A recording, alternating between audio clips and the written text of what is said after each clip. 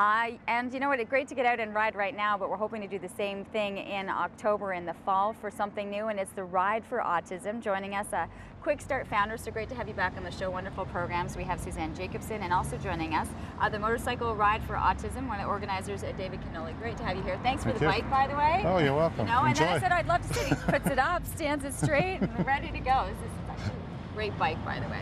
Cappuccino on the side there. So. Is there really? I, I, you know, there's so many gadgets here. I could actually see that there might be. Uh, for people who aren't familiar, quickly uh, break down what the Quickstart program is. What we do is there's very long wait times uh, for children uh, when you're concerned about your child. They might have autism. It's years. And so what we do is we get early intervention to the children through the funds raised for us. We provide free programs for the kids.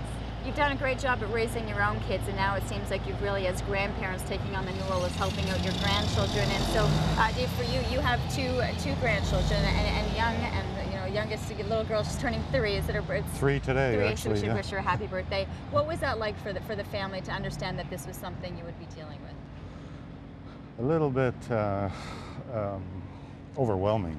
It just, uh, what do you do? How do you do it? Uh, where do you start? What can you do? And uh, uh, we were sort of directed towards Suzanne and, and, and realizing that she needs money and what can I do to help? And this is the only, this is the first thing I thought of anyway. Well, so. something that you're passionate about, so you knew that you that you could help and this is it, right? Is that you want to be able to get and they're young children. You want to be able to get them in as young as possible because that's really where the biggest change changes are happening. Yes, we, there's studies showing now that when we get the children right away, when they first show the signs of autism, that we're actually changing the brain. Need to get it done earlier. So what you've done is said, I'm taking my bike and we're heading out. So how did the whole aspect of the ride for autism come about, and what are you expecting for the day? Uh, well, I always did the ride for dad, and I thought I'd just sort of concentrate on the ride for autism, but there wasn't one.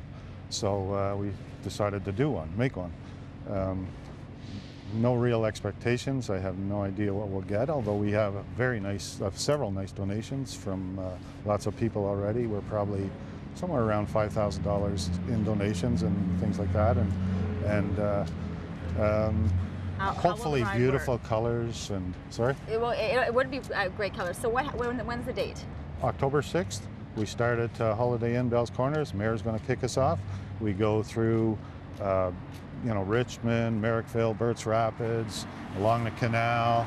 We go over a uh, swing bridge, uh, Narrows Lock swing bridge, wind up at Westport, come back through Maberly. It's a pretty, Wow. pretty route. This is a nice, Nice route. ride. So how long do you expect people to be out on the bikes taking it all in? Um, four, four and a half hours. So that really Yeah. is. It's it's a ride, but you're embracing. You have so many people with you, and then they'll come back and there'll be lots of activity back at the park. Yeah, yeah. There's pizza, there's hamburgers, hot dogs, uh, haircut if anybody with helmet head wants to get a haircut, and uh, um, lots of stuff for the kids. Uh, we're thinking of a little bouncy castle, and uh, we have the option outdoors. Hopefully, it'll be nice, and but also a big facility at the Best Western in Bell's Corners again, uh, inside.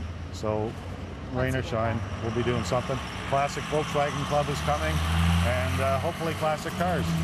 You got all of the aspects of whatever's on wheels, and I think it's to get the wheels turning too for the kids. And so if there's families, even if they're if they're not taking, they don't have a bike, they're not hanging out for the ride, but new families to the city or who have just been diagnosed, that this is a great place too to come out and meet other families, see the programs that they're involved in, and see how they can uh, really start getting information from other parents to start working with their own children. Yeah. Definitely, and you can register online already. Uh, right now we're taking registrations.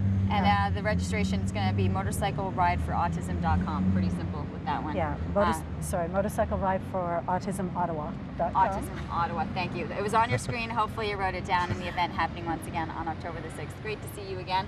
Done well. I love the logos and And, everything. and for this one, this is for you. I like it. Thank you. Thank you you so very much. much. It'll fit, and I can wear this right here because there's no way I'm actually taking control of any of these. Um,